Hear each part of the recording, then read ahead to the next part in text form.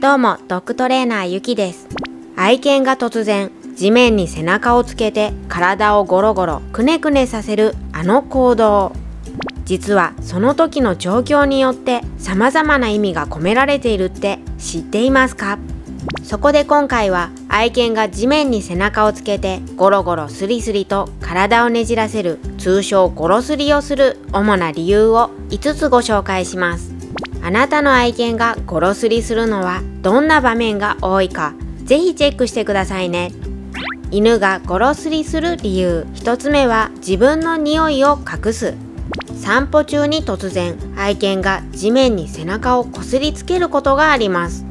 しかも愛犬が寝転がるのは決まって干からびたミミズやセミの抜け殻猫のうんち砂浜だと魚の死骸の上など。飼い主さんがそこだけはやめてと悲鳴を上げたくなるポイントばかりですが愛犬はあえて匂いのする場所に背中をこすりつけているんです。というのも野生時代は獲物の排泄物や死肉の上にわざと背中をつけて転がり自分の体に獲物の匂いをつけることで相手に自分の存在を気づかれないようにカモフラージュしていました。今は狩りをする必要はなくなりましたが野生の名残から匂いの強いものを見つけると衝動的にミミズやうんちに背中をこすりつけてしまうんです。また犬は腐った匂いを好む傾向があるので単純に干からびたミミズや腐りかけた魚の匂いが好きで体にこすりつける愛犬もいます。雨上がりや湿った土の上では特に注意してくださいね。犬がゴロスリする理由。2つ目は自分の匂いを取り戻す。愛犬をお風呂に入れた後ベッドやソファーの上で全身をゴロゴロスリスリと必死に繰り返すのは自分の体から普段感じることのないシャンプーの香りがする違和感とシャンプーで洗い流された自分の匂いを取り戻そうとしているからです。シャンプーが苦手な愛犬はお風呂から解放された喜びも加わり興奮気味にゴロスリします。犬がゴロスリする理由。3つ目は自分の匂いをつける。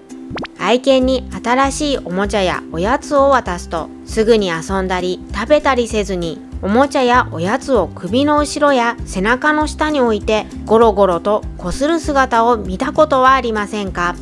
これは新しいおもちゃやおやつを自分のものだと主張するためにおもちゃやおやつに体をこすりつけて自分の匂いをつけているんです。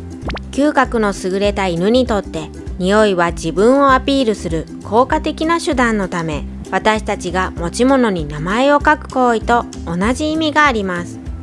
新しいおもちゃやおやつが嬉しすぎる時はうなりながら首や背中の下でゴロゴロこする仕草が見られるはずです。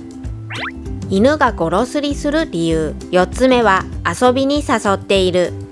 飼い主さんの目の前で愛犬が突然床に背中をつけて転がりゴロゴロとお腹を見せるのは一緒に遊んでほしかったりもっと構ってほしいサインです。ゴロゴロスリスリしている最中にこちらの反応を伺っている時は早く相手をしてほしくて待っている状態なので愛犬の気持ちに応えてあげましょう。犬がゴロスリする理由5つ目は満足幸せな気持ちに浸っている。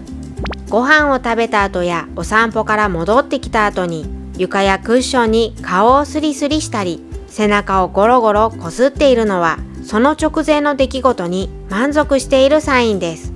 美味しかった楽しかったといった幸福感を全身で表現しているので温かい目で見守ってくださいね。この動画が参考になった方はチャンネル登録をよろしくお願いします。